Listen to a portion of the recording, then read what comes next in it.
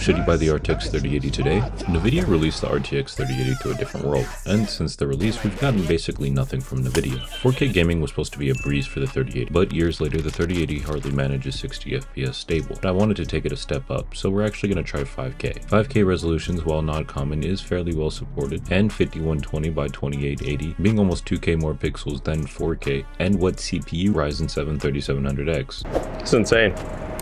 Now while being a generation old, it still does hold up fairly well, and we shouldn't expect a severe bottleneck. Ryzen 7 old but not so old upgrading is a must. For this test we're also using 16 gigs of Corsair RAM. The performance you can expect from the two without giving away too much for now is fair. The RTX 3080 is definitely showing its age, but is the RTX 4000 series worth the added power draw and additional cost? I tested a few games at 5K, 2K, 1440, and 1080p. The RTX 3080 holds up well, but it's not a gaming beast, crushing our benchmarks. While the RTX 3080 still does hold up well, I think it may be time to start looking at other options, as some of these can run you as much as $500, a very close price to almost $600 for a new 4070, performing almost the exact same in most cases. With the 4070 doing better with RTX on, you will also get all the pros of buying a new card, but still the RTX 3080 is a great option. You can expect to play games well at any resolution, however 1% lows can really bring the experience down. The better looks may not be worth the lower FPS in some cases, but where you can play at 30 FPS, the 3080 will do well.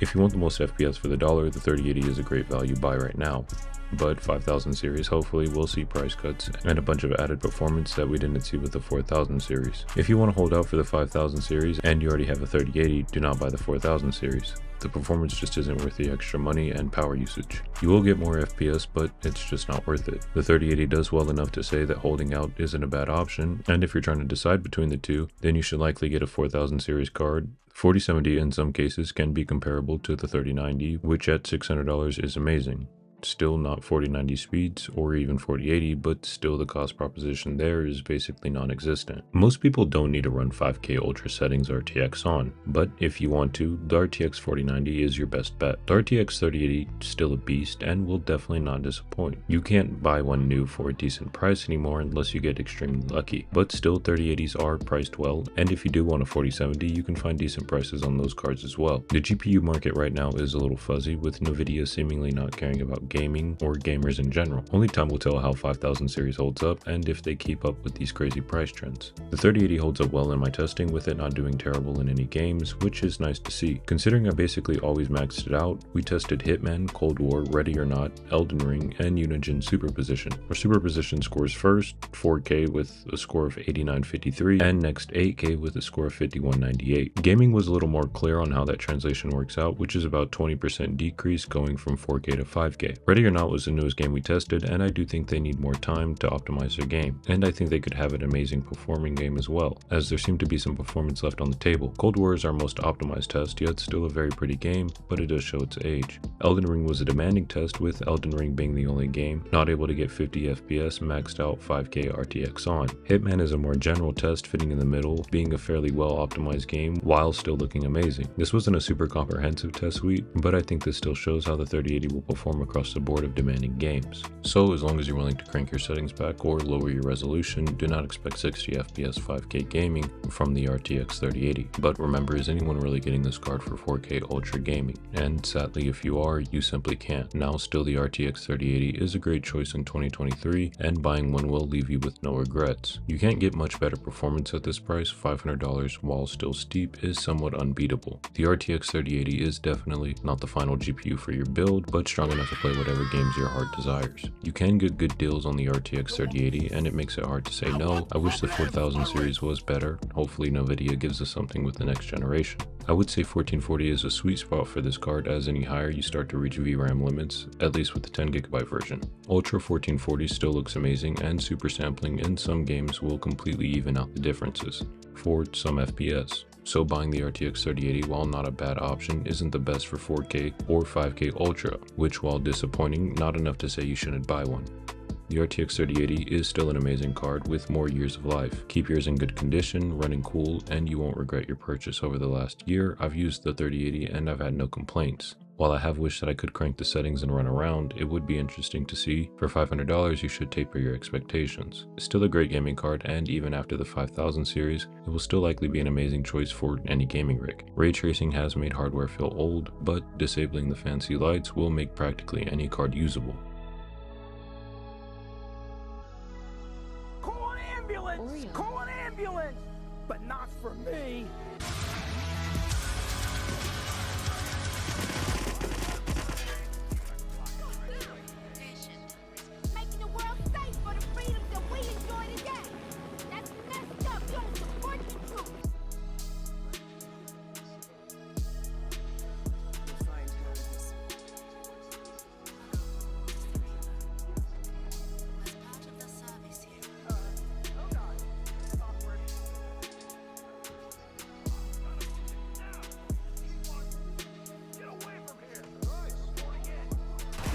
Got beans, you fucking loser.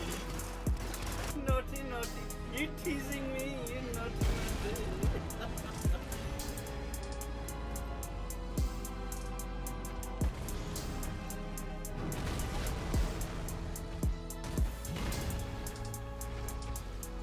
Yo, Carlos declined. Embarrassing. Carlos declined.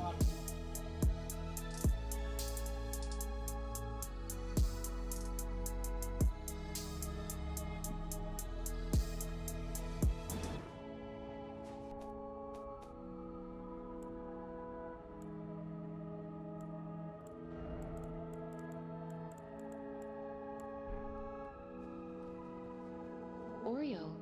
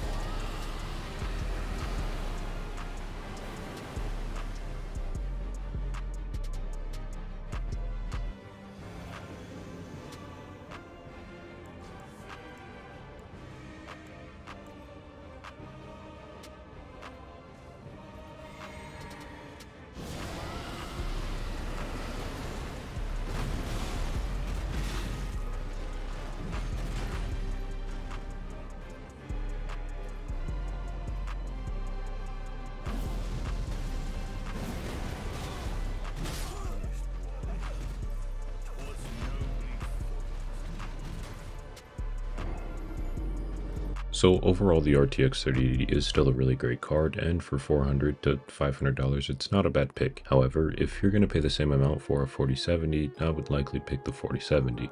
Of course, if they're both used cards, then you might as well get the 3080 and probably save $100. Now, the 4070 is still a great card, but I haven't personally tested one. 2K Gaming is still very decent on the 3080 and I could see you getting away with using this for another two and a half years. More than likely the 6000 series will be an amazing upgrade and everybody will probably want it. And there will be a price decrease on the 5000 so maybe buying a 5000 then will be the better option. Power draw is still fairly low for being a last generation card and the 4070s do have fairly decent power draw but still the 3080 is not crazy. Thank you guys so much for watching this and if you enjoyed then you can leave a like and if you hated it then you can leave a dislike and tell me what graphics card you have in the comments.